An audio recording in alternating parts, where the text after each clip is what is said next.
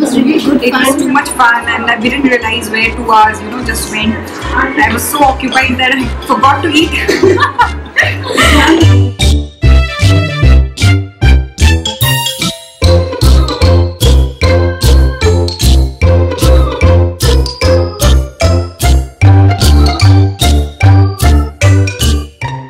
It has been an amazing experience. Uh, we didn't know that we had so much of creativity in us, and as a host I think it was the easiest thing that I could have done with so much of fun.